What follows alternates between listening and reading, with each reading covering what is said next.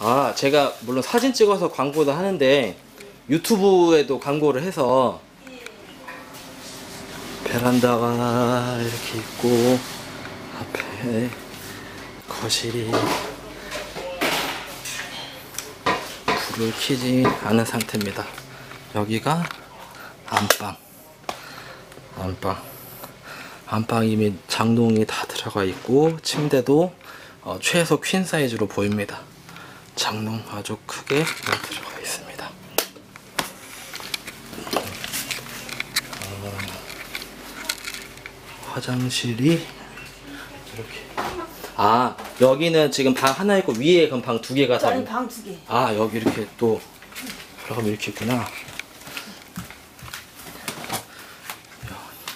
이 옷장이나 이런 거는 그냥 다 가져가시는 거죠? 어, 네, 옵션은 다 없다고 봐야 되고 베란다 있고 위에도 한번 봐도 돼요? 예, 위에 보셔야 돼. 위에 네. 위에가 진짜.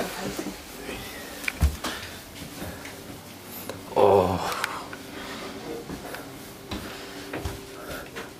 여기는 약간 방으로 써도 될 것 같고 창고로 써도 될 것 같네요. 아래 방에 두 개가 있고, 어우 여기 또 여기 또 거실. 어우 여기 방이 또 있네. 그럼 아래에 방 두 개, 지금 위에 이렇게 지금 방세 개.